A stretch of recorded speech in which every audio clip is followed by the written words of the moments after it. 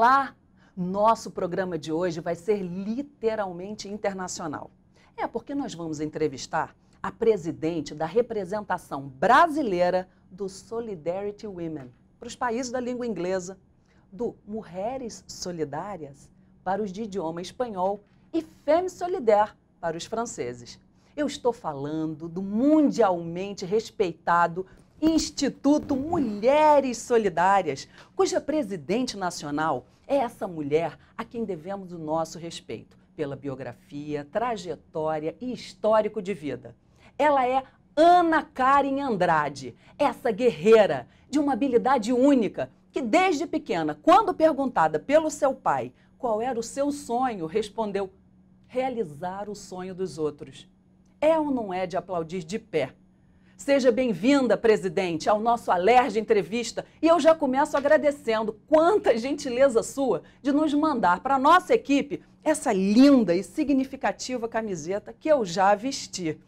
Bom, primeiramente eu queria agradecer, palavra de ordem, gratidão. Cláudia Cataldi, essa grande mulher, jornalista, cientista político e que eu tenho a honra de ser amiga respeito muito essa luz própria. Obrigada pelo convite, obrigada pelo carinho. Começo agradecendo também a Deus, aos familiares, por me dar essa oportunidade de estar hoje aí fazendo essa entrevista na Alerj, que eu queria até saudar o nosso presidente, André Siciliano, grande presidente, deputado que tem feito um trabalho maravilhoso na Alerj.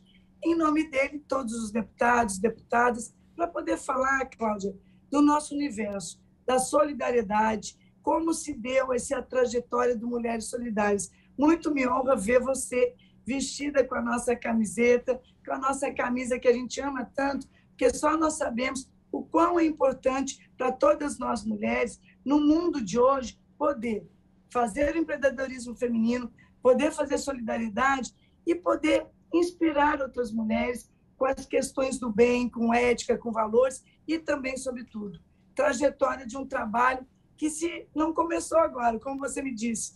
Meu pai perguntava, minha filha, o que, que te faz feliz? Eu tenho no meu recall, né, desde que nasci, minha avó era solidária, meus avós, minha mãe. Então, acho que eu já venho de um berço solidário, que com 12 anos eu já fazia na escola, recolhendo os bombons para levar no asilo apenas com 12 anos. Então, isso é uma coisa que vem de dentro, é uma vocação, é um ideal, e é mais do que isso é um chamamento de Deus, porque eu digo sempre, o nosso lema no Mulheres Solidárias, você também tem aí, deve ter recebido, o nosso avental, e a gente sempre diz, quem não nasceu para servir não serve para viver. Então, o nosso lema é servir ao próximo.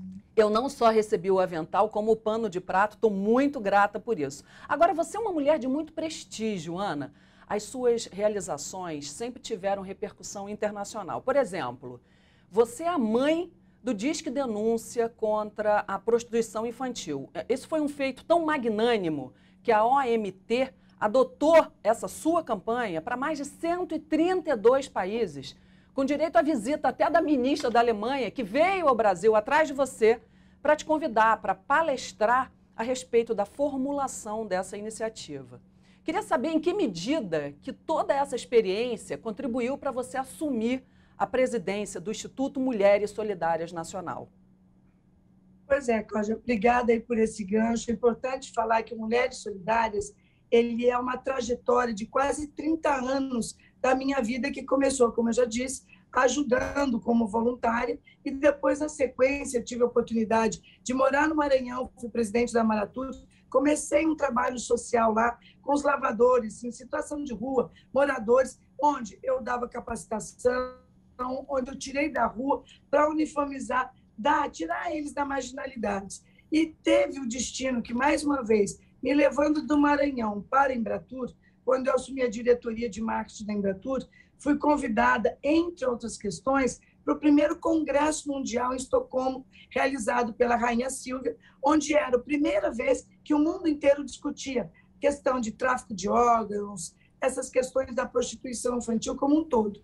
E lá, todos os países tiveram a sua tarefa. Qual era a tarefa? Voltar para o seu país de origem e fazer o seu trabalho.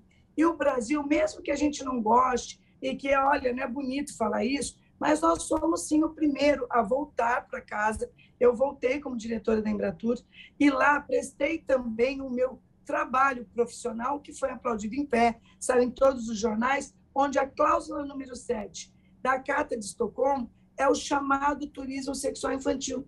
Então, eu, como diretora da Embratur, coloquei, fui aplaudido em pé, foi matéria internacional, e quando retornei ao Brasil, chamamos lá a nossa equipe e criamos o Disque Denúncia, que na época era o 0800 990500, que hoje é o Disque 100. Então, esse trabalho teve uma repercussão internacional, onde a ministra da Alemanha, como você citou, veio até o Brasil, inclusive embaixador da França, eu fui fazer o primeiro congresso em Buenos Aires pela Interpol francesa, mostrando esse trabalho que foi efetivo.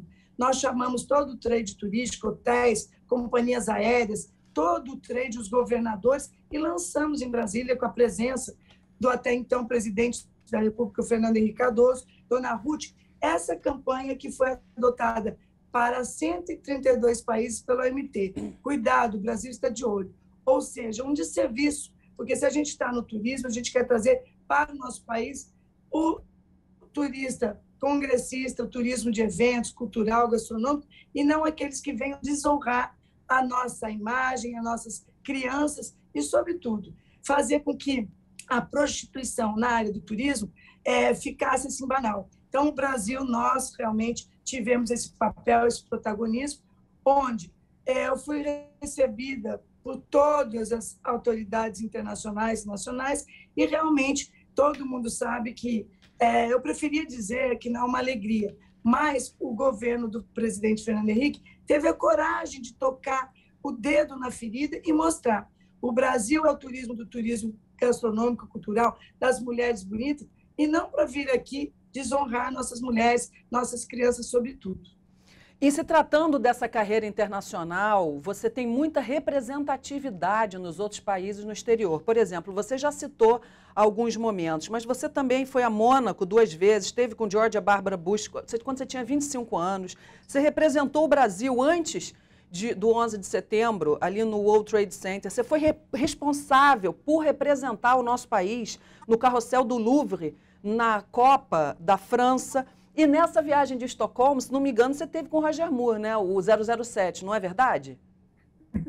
É, Cláudia, você é como uma mulher sempre bem informada, uma jornalista que tem conteúdo e que tem informações exatas. Eu tenho uma gratidão imensa, né, de ter tido a oportunidade como profissional, como mulher e, sobretudo, da credibilidade do nosso trabalho que nós desenvolvemos à época com o embaixador Sérgio Amaral, que eu queria agradecer muito, eu trabalhei com ele por cinco anos. Então, foi uma pessoa espetacular que me deu essa oportunidade em confiar no meu trabalho. Realmente, com apenas 25 anos, eu atravessava o oceano e ia para outro lado do mundo para poder mostrar para a Europa e para o mundo inteiro que o Brasil é muito mais do que o turismo né, das mulheres bonitas, é, da questão do samba e do carnaval. Nós temos aqui riquezas naturais como turismo gastronômico, cultural, ecológico, de eventos. Esse era o meu cabo-chefe. Eu tive a oportunidade realmente que com 25, 26 anos, 27, nesse momento, de estar sempre representando as viagens do presidente Fernando Henrique Cardoso no que tange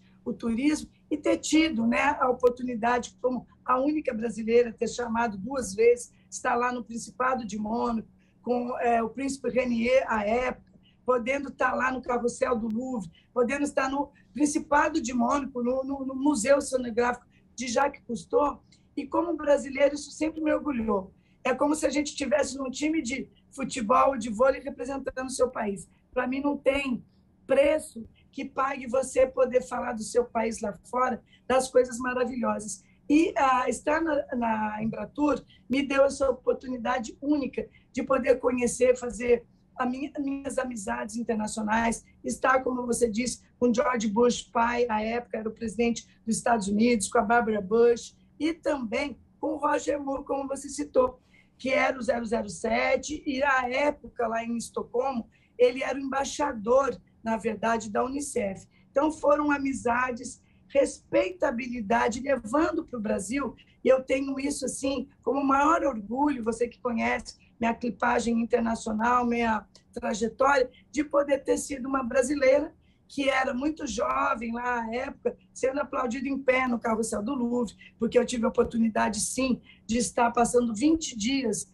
quando nós fizemos pela Embratur a Copa do Mundo na França, para dar oportunidade para os empresários do mundo inteiro, sobretudo os parisienses, mas sobretudo o Brasil inteiro, no Carrossel do Louvre, naquele stand lá de 400 metros quadrados, e eu, praticamente uma menina, né, 25 anos, podendo ter o respeito, a credibilidade do governo brasileiro, do porta-voz da presidência da República, do embaixador Sérgio Amaral, que me destacava como representante, ele, o presidente, claro, da Embratur, Caio Luiz Carvalho, a quem eu agradeço muito, porque eu acho que gratidão é uma coisa que você tem que ter. Fidelidade, gratidão, lealdade e, sobretudo, ética para poder, com tudo isso, fazer um trabalho que inspire outras pessoas, que sirva de exemplo para o nosso país e para as nossas mulheres. Você falou de embaixador. Se nós formos entrar nessa seara, eu não sei nem como é que eu vou resolver isso, porque se eu for tratar de embaixadora, só desse título você recebeu três. Você é embaixadora da paz pela ONU e estava na Coreia justamente representando o Brasil quando se deflagrou essa pandemia. Além disso, você é embaixadora cultural da Academia William Shakespeare. E você também é embaixadora do Fórum de Internacionalização Empresarial de São Paulo. Eu não sei nem como é que você faz, Ana Karen, para administrar tantos cargos e tantas posições de representatividade tão relevantes pelo Brasil afora. Olha, Cláudia, eu primeiro queria dizer que isso para mim é uma vocação. É quando você ama o que você faz, e eu até sempre me emociono, porque primeiro eu amo o nosso país eu amo cuidar das pessoas. Então, você ter essa paixão pelo seu trabalho é como se não fosse um trabalho, é um prazer, é uma alegria. E ao longo dessa trajetória, que você sabe, eu nasci no interior de São Paulo, em Cruzeiro, depois meu pai foi transferido para o Maranhão, e eu, muito nova, tive a oportunidade de implantar o Centro de Convenções do Maranhão, com 22 anos. Então, eu fui presidente da Maratur, e naquela ocasião eu tive a oportunidade ser convidada para ser a primeira mulher vice-presidente da Comissão de Turismo Integrada do Nordeste, CTI Nordeste. E o Maranhão, como ele pertence a dois, é, vamos dizer, dois é, é, mundos, Norte e Nordeste, é o único estado do Brasil, eu fui diretora da CTI Amazônia. Então, muito cedo eu já fui acumulando essas experiências, amando trabalhar com tudo isso, institucional, nosso país, e de lá, inclusive, eu quero agradecer mais uma vez também ao Maranhão, eu tive a oportunidade para ser diretora da Embratur. E com esse mote que você está falando, você vai ali adquirindo experiência, melhorando e se capacitando, fazendo. Eu estudei na USP, na Getúlio Vargas, na FAAP, sempre né, fazendo as minhas pós-graduações, que é muito importante. Nós que somos profissionais também, sei que você o tempo inteiro está aí, está se formando em direito, a gente quer trazer e buscar mais conhecimento. Então, foi uma honra realmente ter esse título de embaixadora da paz, que é através dessa trajetória toda que eu tenho, do social, de fazer o social. Tive o Instituto Carinha de Criança por 16 anos, criei no Brasil Disque Denúncia do Combate à Prostituição. Isso foram ganchos para que o Comitê da ONU e os embaixadores da paz tivessem me convidado.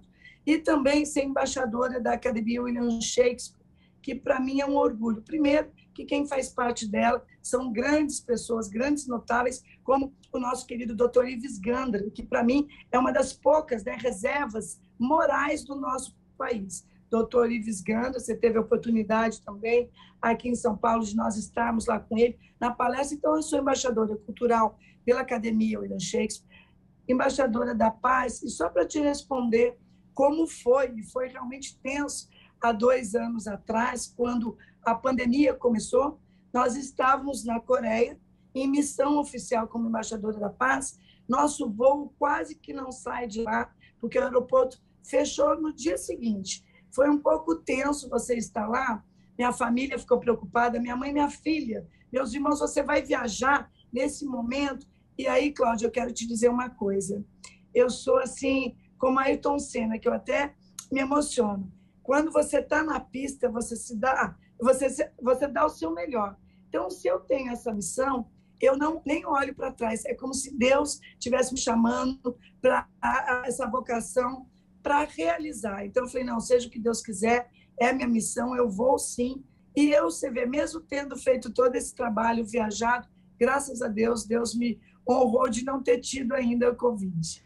Que maravilha. Olha, você falou que foi diretora da, do, do CTI Amazônia.